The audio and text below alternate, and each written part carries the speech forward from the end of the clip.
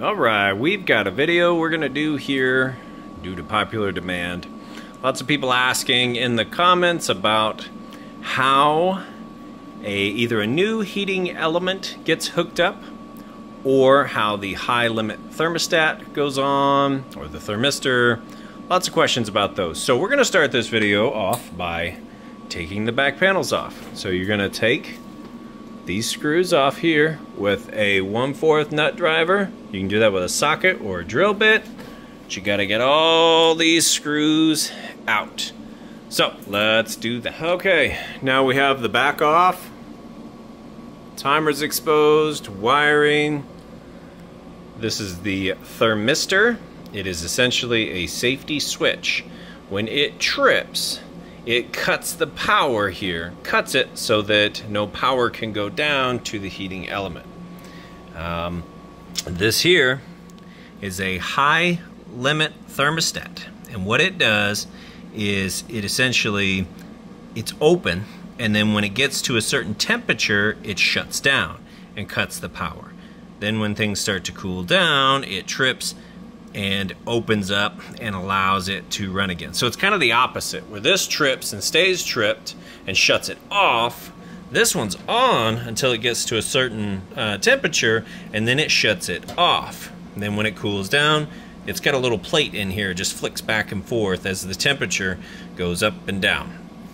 Uh, this, I think, has something to do with the auto sensing. I'm not really sure to be honest with you. I don't really know what this does, but if I remember correctly from a long time ago, it has something to do with auto sensing. Yeah, anyway. Um, so then the power from here, so comes through here. This allows the power to move through the coils. So in here you have this coil bed, and so the power goes in through all the coils and then out here.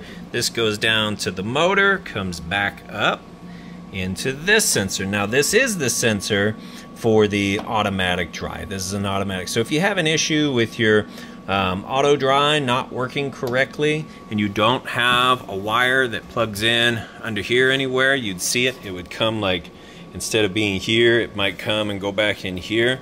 Then this is likely the culprit. Although I will say I've never replaced a single one of these in 10 years. I've never had one go bad. That doesn't mean they don't go bad. Um, but I've never had to fix one, not even once. Uh, this is the thermal fuse, and when this trips, the whole dryer just goes dead. You might still get the light inside on the drum, maybe, but my experience has been that uh, the whole thing just goes completely dead when this trips here. Um, and then that's pretty much how the cycle works. So this red wire starts up here, the signal is sent, comes down through here. As long as this isn't tripped, it keeps going and then hits your coils, heats all of that up, goes down. Uh, once the motor starts, these two things work together. So if there's an issue with either, they can kind of trip each other out. Comes back up through this sensor here, and it's all tied together by this one. This one also, I believe, ties in to the door switch at least the door switch wire is blue also. But the door switch can also shut down the motor and the heat, so you have a couple of stops in there. So that's how this works. Now I think where some people are running into a problem here is they've got a new part and they're confused by this piece here. Okay, this is what the new part should look like if you have this little wire. Then your new part should look like this, okay? Here's your thermistor right? Which you don't need to buy these. In the other video I showed that you can take these off and whack them really hard on the ground to reset them. There's a little uh, flimsy metal plate in here and it pops one direction when this goes bad. So by whacking it on the ground, it pops it back the other way and you can continue to use those. I showed that in my other video.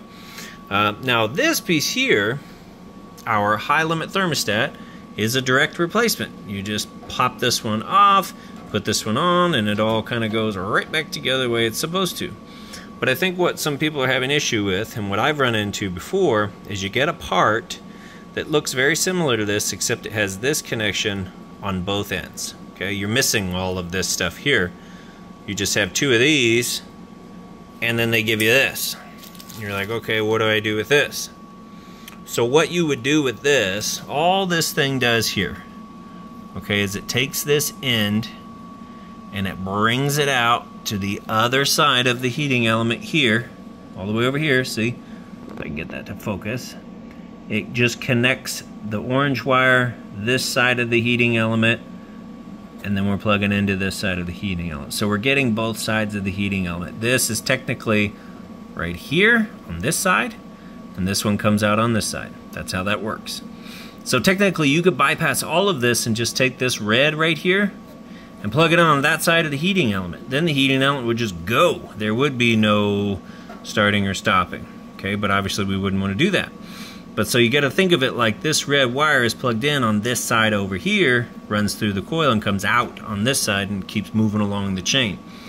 So that's all this does. So if you get one of these that has the other side looks like this, all you have to do is connect this side to this side and your the orange needs to piggyback. So that's what this does here.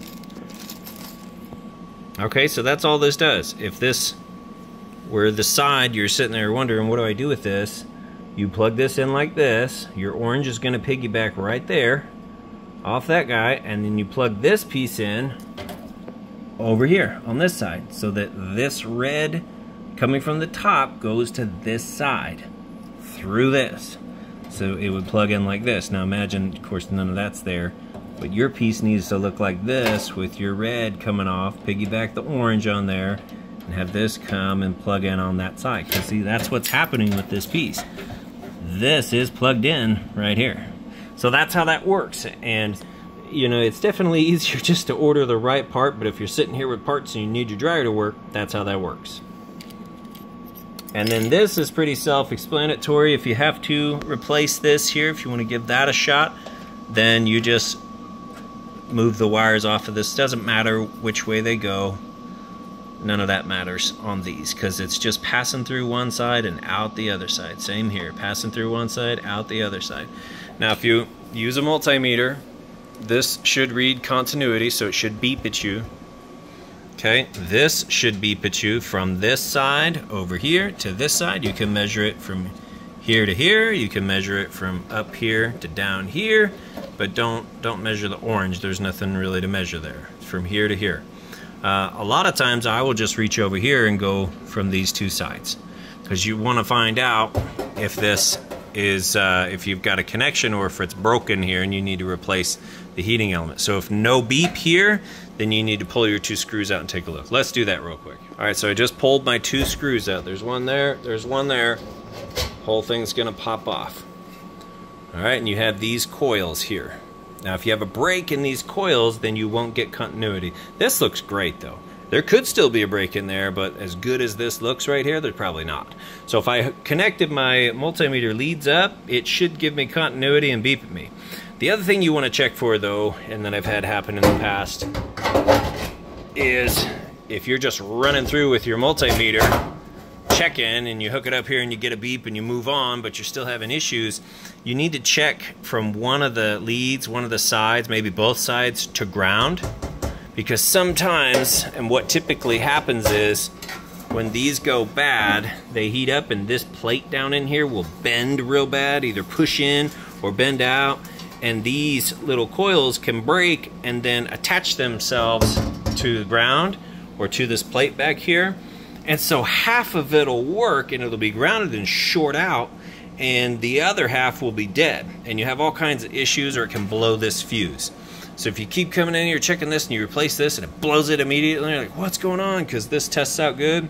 We'll check it to ground or pull it off and visually inspect it and make sure none of these are reaching out and and you'll see like a big burn spot on the back here or within the plate. So that's tricked me a couple of times before. It's always best if uh, you if this is blown out, you always want to pull this off and visually inspect it and make sure nothing's grounded out. Because typically what causes these to blow out is um, this piece will go bad. And when these when these go bad here, what it does is instead of like this one where this one will shut off and not allow heat to come through so your dryer will just run and run and run and never heat right this does the opposite when this goes bad it allows the power to flow freely and it just gets super hot and overheats. And that will trip this. That's what this is for. It's in case this fails. There's your backup. This will trip and shut it down. Or if this fails and this has gone bad, this can blow. But most typically this will blow if you have something grounded or you come up here in the timer and if there's a contact in the timer that is shorted out or gone bad or if you have a wire like up in here that is rubbed raw and it's hit. So what I'm trying to say is typically this goes bad if there's a short in the system somewhere. Sometimes these wires here can rub raw up against this metal and you got bare wire touching and it blows this fuse. So whenever I have one of these that's bad, I check all my wires, I check this, but nine times out of 10, more like 99 out of 100 times, this has got a coil that's reached out and touched ground and blown this or this is bad. So that is how this wiring system works. If you're trying to figure out how to replace this heating element, if you're having issues with it, uh, I think I've given just about all the tips that I know here. Uh, I can tell you that if you've checked through all of this and everything's hooked up correctly and you've got continuity everywhere you're supposed to have it, and for some reason you're either still not getting heat or you keep tripping this here, then you need to check in your timer probably going to be within the timer. And if you go to my playlist under appliance repair videos, you'll see I have two different videos about te tearing these down, checking those connections, because it's a real common issue with these three connections here and a little pin inside of here that gets worn down and it allows too much slack, which causes some arcing and all kinds of issues there. So guys, I hope this helps somebody out. I hope that uh, answers some questions from one of my other videos. I'm going to link this to that video. But if you found this information useful, uh, helpful, let's share it and like and subscribe. That will get this video out to more people trying to do these repairs and save some money. And that's kind of the whole purpose here. So I do appreciate you taking the time to watch my video. Thanks, you guys have a great day.